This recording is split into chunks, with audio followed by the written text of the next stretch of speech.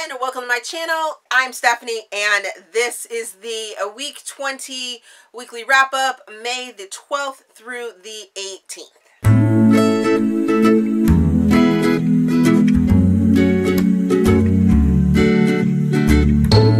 As I said, this is the week 20 wrap up for May the 12th through the 18th and before I get into all of the books that I read last week. Um, a little bit of an announcement, um, a little bit of, hey, this is what's going on in my life. Uh, well, last week, at the end of the week, uh, I had some life-changing information passed on to me. And if you follow me on Facebook or if you have been reading some of my Instagram stories, you may vaguely know what's going on. Um, however, I am no longer uh, in my regular job and now I have to fight uh, to get reinstated and everything like that. So life has uh, decided to take its little step in and I have to deal with life. Um, the channel shouldn't suffer at all. I will still be trying to put out videos on Tuesdays and Thursdays and weekly wrap-ups on Wednesday. Um, however, it does depend on um, if I can get appointments and everything like that. I probably will have more to talk about during the weeks and, uh, you know, things like that. Hopefully I don't come off too salty and, uh, mad because the thing that happened is upsetting me and it's stressful and you know trying to find a job in this day and age is really sort of uh time consuming. I haven't had to like really look for a job. I actively looked for jobs and stuff like that. But being that I am no longer with the federal government, um, circumstances I guess surrounding that, whew, it's very difficult to get back out there. So I'll be trying to do that and dealing with all of the circumstances around my leaving the federal government. So yeah, that's that's sort of what's going on. So hopefully that doesn't bring down the mood in my reading. Um, I did have you know, put out there for the authors that I am participating with or working with that life and, um, you know, that might create some kind of slumps in a way uh, for my reading, what have you, and I hope to stay on track, but sometimes doesn't happen that way. So, let's get into the stuff that you are here for, which is last week's reviews. Um, and to start off last week, I finished reading Where Bad Boys Are Ruined, Good Girls Number 3 by Holly Renee. Uh, I place this in New Adult. I give this book 3.5 stars. I give it two Steam fans. I listened to it on audiobook. And I didn't, I was wasn't feeling this book as much as I was feeling the other two books in the series. This book follows Brandon and Charlie. Uh, Brandon is a tattoo artist that works in the shop that uh, Parker opened.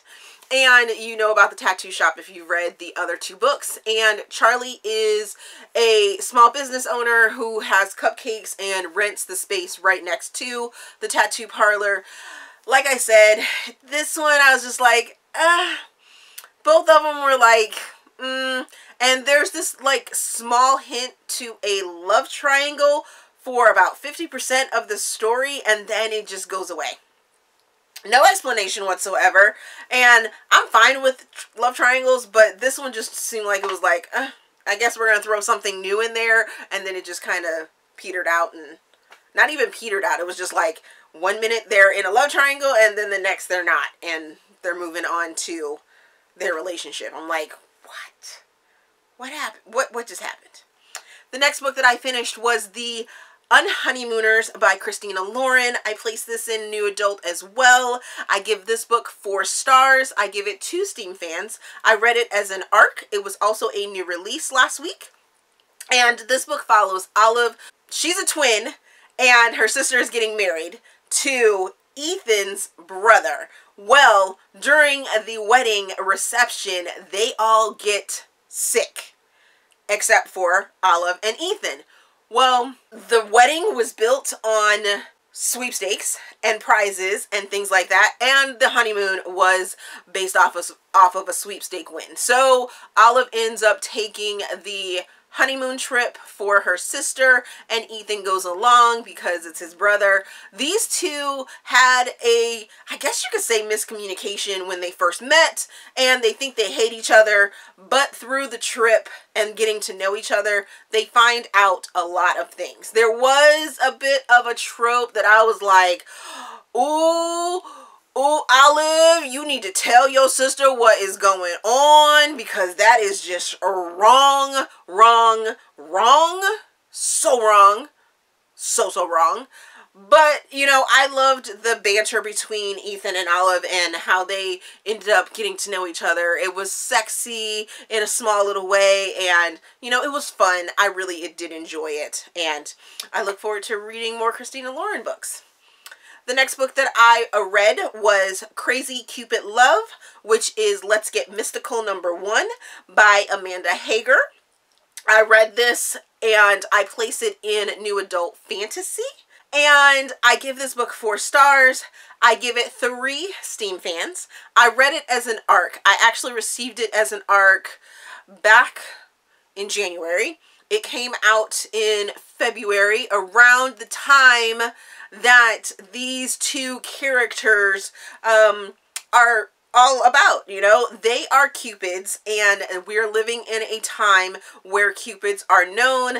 They have businesses and things like that and Eliza is a twin and she's also a cupid. So she was born on February 14th she is a cupid that has kind of bad luck and everything whenever she tries to play love match she messes some messes some crap up. Like just craziness. She'll drop something on someone's foot and all of a sudden they're in love with her and yeah, it's just sort of crazy. Now it did take me a little while to get into this book. I was actually going to DNF this book, but then I it started to roll along and I got used to the format and everything like that. And I really liked Eliza in this book because you got to see how she felt like, you know, she was just, I can't be a Cupid. I'm just not made out for this. Just, I have this bad luck of being born on February 14th and being a Cupid and it's just not working for me. And through it you find that she finds herself and she finds her place in this new world and or this new time frame what have you. And then there's this mystery that goes along with it which I really sort of enjoyed and sort of grabbed me into it. And I want to say about the 50% mark there was this sexy moment that I was like oh what? Where did that come from? Ooh, I'm real interested now because the sexy parts come when her and her sort of, I guess, high school crush, Jake, who's back in town, who's actually a Cupid as well. Um, you know, they have to work together and they they start to talk about their feelings and there's some sexy parts in there and I really, really enjoyed this book. The next book that I read was Protecting Their Princess, a Snow White romance. Filthy Dirty Romances, I think it is, or Fairy Tales. Number three by Parker Grey. I actually DNF this book and I give it three star or three fans and actual three stars. I listened to it on audiobook and I believe that the reason I DNF'd it and did not finish it and am comfortable with giving it three stars and three Steam fans is because I have a feeling if I was to physically read this book that I would be okay with it. I think the audiobook narrators were trash for this one. Just not, did not fit the story or how it was being read. It just, nah, nah. So, and it also didn't fit the character sort of being that we had already, you know, met because we met Bianca in the book number two. She is the best friend and also a princess of a country. She all of a sudden gets these death threats and Beckett and Kieran are the best friends to the other two that we other two characters that we already met, a prince and another prince, I believe. I believe they're both princes. But yeah, you've already we've already met them and you know, they sort of gave these little pieces off and the voices just didn't match and it just really annoyed me and I was just like, nope, I can't do it. But I think the story would go along well At least I hope. Fingers crossed. I might try and read that later on. The next book that I read was One Last Chance by Molly O'Keefe. I place this in erotic short story. I give it 3.75 stars. I give it three Steam fans, and I listen to it on the podcast of Read Me Romance. Read, Read Me Romance. And I really sort of enjoyed it. This is a what do we do with our relationship when it's not going good? Jake has sent Natalie divorce paperwork and Natalie's like, I know I did you wrong when we were married and I didn't give my all, but you know what? I have figured it out and I want to save our marriage. But I know you're mad at me and I did you wrong. So how can I sort of fix this? And Jake is like, okay, I don't want to let you fix it, but I do love you, and you get to see sort of their sexy time, and then when they get to that moment where they're like, nope, I'm going to put my foot down, and this relationship is over, and, you know, what happens when feelings are finally told and people actually start to open up. And then the final thing that I read last week was The Darkest Minds, Darkest Minds number one by Alexandra Bracken. I place this in young adult dystopian. Um, I give this book four stars. I give it one Steam fan. And this, if you don't know, is a trilogy with a spin-off book. And I'm reading it for Romance Genreathon.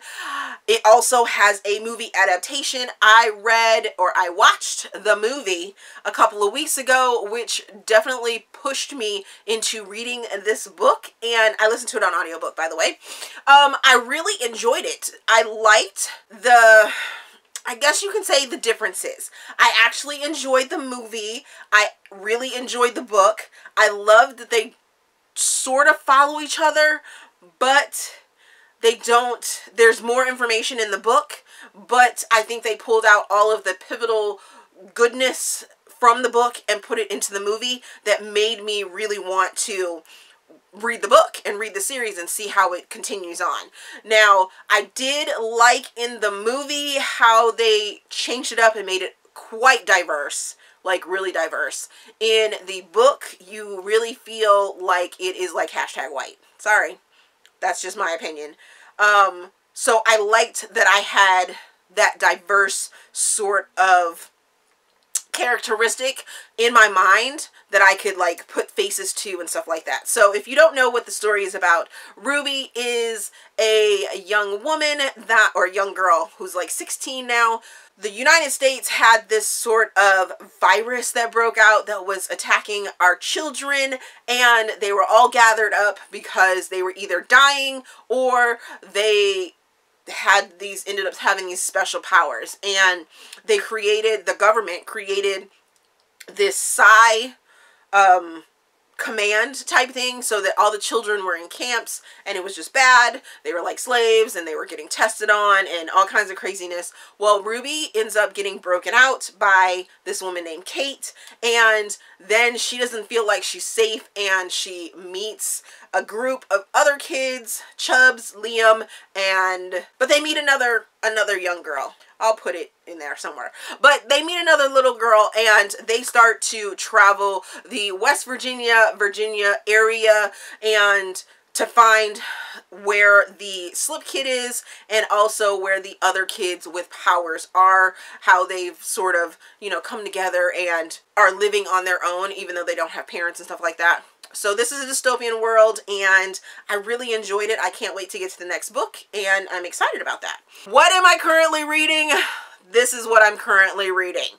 I am reading, I'm about 50% into Twisted, which is Tangled Web number one by Aleatha Romig. And we have now, I've now met Laurel and I'm really enjoying the dark ness and the dark side and psychological that side that is Aleatha's writing.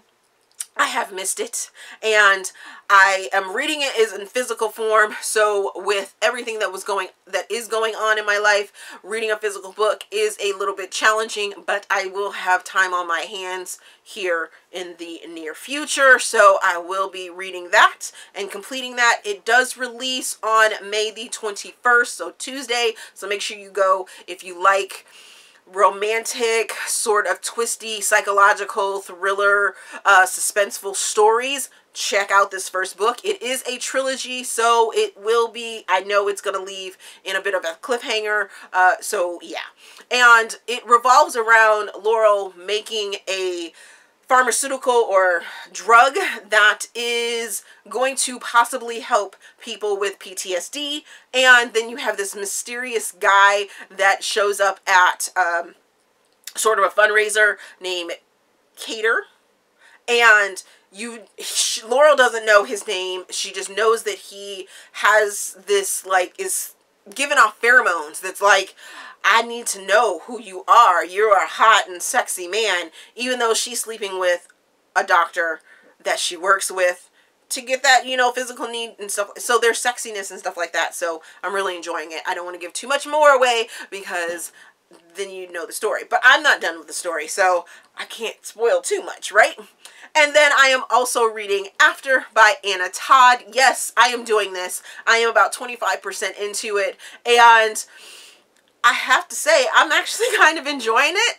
I've had my adult hat off and um, like at the 6% mark, I was like, oh my God, Tess is this little entitled like young lady that is just crazy. And I still sort of say that because she is 18 years old. She's new to college scene and you know she's doing some stupid stuff but then i'm like okay let me think what was I sort of like when I was 18, 19, 20 years old? And I could see going through or doing things that she's doing. Now, mind you, I wouldn't have done those things. Um, I don't know, I wouldn't have had that mentality. Um, but I could sort of, and I wouldn't have been friends with her. I would have been like, Psh. And one of the characters is named Stephanie too, so that's real funny. But uh, if I was that Stephanie character who happens to be her roommate, I would have been like, nah, bitch. I'm, I'm, nope. I can't with you right now. You and your elite-ness. I can't even be friends with you. I'm not going to invite you around. That's how I would have dealt with it. So, then, the, but then there wouldn't have been a story. So, yeah. So, that is all the stuff that I read last week the things that I am reading now, I will be trying to read more because this coming week. So I have more to talk about besides just Twisted and After. Um, I am going to be continuing on with those series. I'm going to wrap this up now because I've been talking for a long time. Um, have you read any of the books that I just named off? What are your thoughts on them? Let me know down in the comment section. As always, if you enjoyed this video, please give me a thumbs up and subscribe to the channel. Also, there is a feedback form down in the description box so you guys can help me improve my channel. Thank you for watching and we will see you guys later.